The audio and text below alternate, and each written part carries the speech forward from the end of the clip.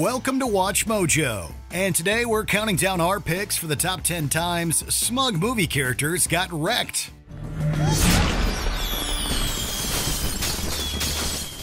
For this list, we'll be looking at the most arrogant and puffed up fictional film characters who eventually got their comeuppance. Plot points will be discussed, so consider this your official spoiler alert. Which of these did you find the most satisfying? Let us know in the comments below. Number 10 James Franco. This is the end. One thing that can be said about this movie's cast, they weren't afraid to make themselves look really unlikable. Dad, so happy you're here. Hey, Johnny, what's up? Hey, It's a James. Never forget it again, man. Good to see you. Good to see you. Come on in. This is the End is a scathing satire of the entertainment industry, painting many celebrities as vain, entitled, and utterly selfish people. And none are as smug as the fictionalized James Franco. You play video games? Yes. Well, guess what, buddy? You like art. Uh, yep. You ever been to Subway? Yes. You order a sandwich? Somebody put that together for you, dude. That's art.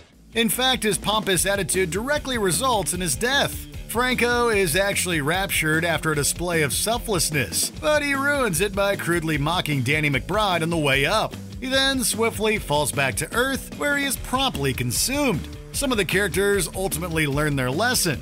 James Franco certainly does not. I'll tell you what happened, Franco. You don't get to get sucked up into heaven because you were being petty. Tom Petty. Number 9 Scut Farkus, A Christmas Story. No one likes a tyrant, and A Christmas Story has a bad one. Listen, jerk. When I tell you to come, you better come. The movie follows young Ralphie Parker throughout the 1940 holiday season. Like many kids, he's excited about that one great present, but he's also forced to deal with the nasty piece of work in Scut Farkus. Even the name is horrible. Scut Farkus. Scut Farkus. What a rotten name. We were trapped. There he stood between us and the alley. Scut Farkus staring out at us with his yellow eyes. Scut mistreats Ralphie and his friends, often scaring them with his yellow eyes. He had yellow eyes! And putting them in painful positions until they beg Uncle. But he finally gets his after throwing a snowball at Ralphie. The frustrated kid had had enough and attacks his enemy with a flurry of punches and insults. While we don't condone violence, it's nice to see our protagonist standing up for himself to teach Farkus a lesson. Something had happened. A fuse blew, and I had gone out of my skull. Number 8 The Riddler Batman Forever. Casting Jim Carrey as the Riddler was a stroke of genius. I hope you made extra. Who the hell are you? Just a friend. But you can call me the Riddler. He's a very lively character, and Carrey's unique brand of energy is a perfect fit. The Riddler is incredibly self satisfied throughout Batman Forever. We all know the type those who think they're smarter than everyone around them and aren't afraid to boast about it. This smugness is practically ingrained in the character, as evidenced by the way he maliciously taunts the hero with elaborate puzzles. Go ahead. You can say it. You're a genius. It doesn't help that the Riddler is actually a formidable foe, figuring out Bruce's identity and successfully destroying the Batcave. Still, Batman gets the last laugh, wrecking the brainwave collector that was crucial to the Riddler's plan, while the villain ends up at Arkham Asylum. Edward, please. Who is Batman? I'm Batman. Number 7 Fred O'Banion, Dazed and Confused. We return to the theme of school tormentors with Fred O'Banion, a two time senior who loves mistreating freshmen. Heard they got you pretty bad. And I asked them to take it easy on you. I can't believe they did that. Man, God, no wonder. Ben Affleck does a great job playing the character and certainly has the imposing presence needed for the parts. Thanks to his convincing portrayal, we understand that, unlike most of the other seniors, O'Banion doesn't see the initiation style rituals as a source of fun. No, he genuinely hates the younger students, going to horrid extremes and making their lives miserable. Nice try, freshman. Tell you what, for being such brave little kids, I'm only gonna give each of you five licks. Okay? Of course, this makes his very messy comeuppance all the sweeter. Sick of O'Banion's arrogance and behavior, Mitch and his pals scheme to cover him in white paint. It works perfectly, and the antagonist can do nothing but throw a hissy fit and storm away in his car. Damn it!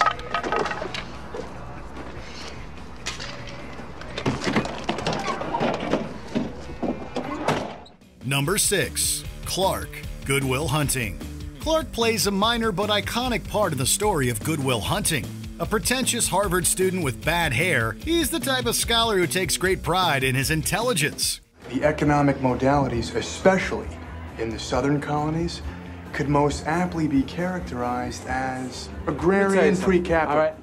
He's unbelievably arrogant, often showing off his memorized knowledge in a bid to be praised. He wants to be the smartest guy in the room, but his desperation reeks of snooty haughtiness. Because Wood drastically underestimates the impact Wood, of social dis- Wood drastically underestimates the impact of social distinctions predicated upon wealth, especially inherited wealth. You got that from Vickers. Thankfully, he's eventually put in his place by Will, who shatters his ego and dismantles his education, which is really just plagiarizing textbooks. The protagonist later shows off a bit himself, displaying a woman named Skylar's number to a befuddled Clark. How do you like them apples? We don't think he likes them apples. Number 5. Ed Rooney, Ferris Bueller's Day Off. Dean of Students Ed Rooney has a good motive in theory. One of his students has been perpetually missing school, and he wants to get to the bottom of it. So far this semester, he has been absent nine times. Nine times? Nine times. But he goes about it in all the wrong ways. He makes it his personal vendetta to track Ferris Bueller down, and that means skipping school for the day himself. We suppose he doesn't see the irony.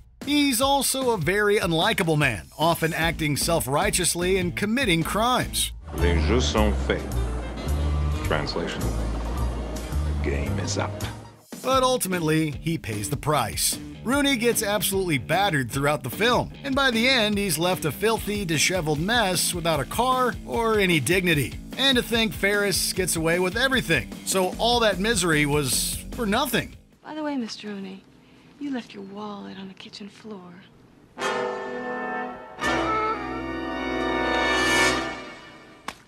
Number 4. Hans Gruber, Die Hard. Hans Gruber is a great villain for numerous reasons, namely because he's a very smart criminal. Because I am interested in the $640 million in negotiable bearer bonds that you have locked in your vault.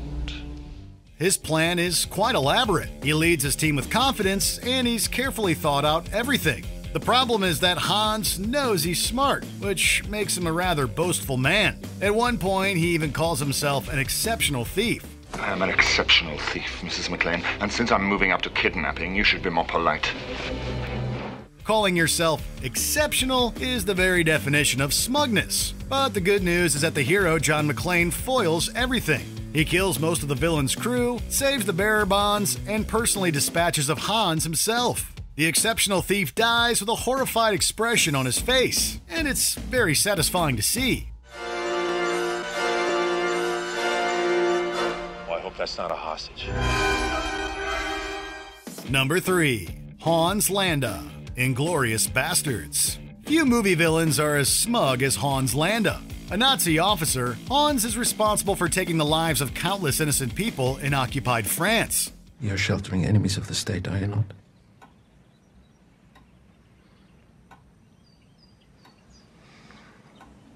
Yes.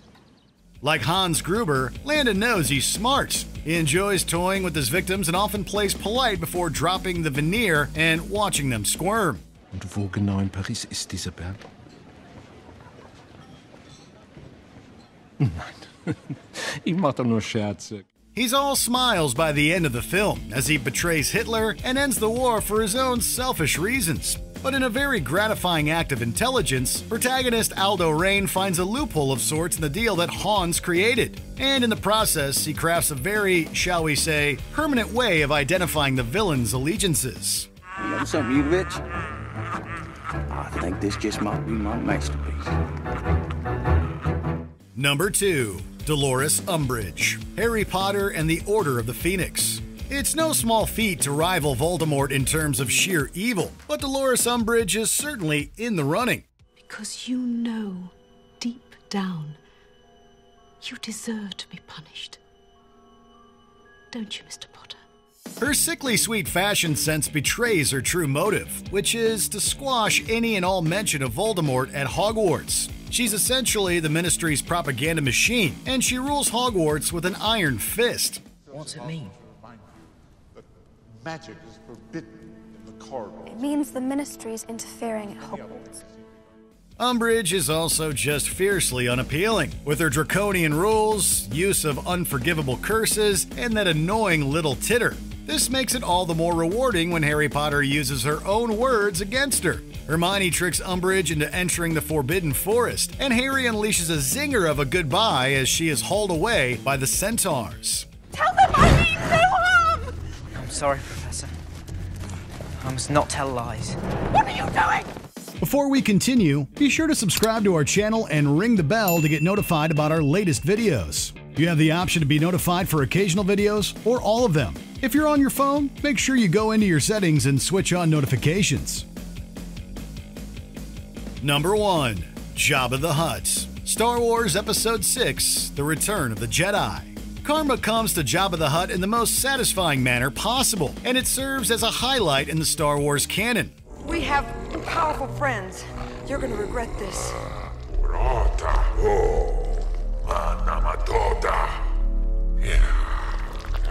Oh. Jabba is a real nasty piece of work and perhaps one of the greediest antagonists around. Aside from the violence, humiliation, and mistreatment he inflicts on others, Jabba is also very conceited. He sees himself as an all powerful gangster who couldn't possibly be defeated, and he continuously defies the heroes.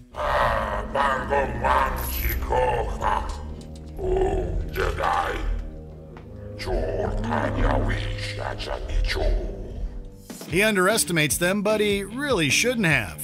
Luke Skywalker and his band of good guys aptly defeat Jabba. In a wonderful bit of symbolism, Princess Leia kills the crime lord with the chains he forced her to don. Karmic defeat has never looked so sweet.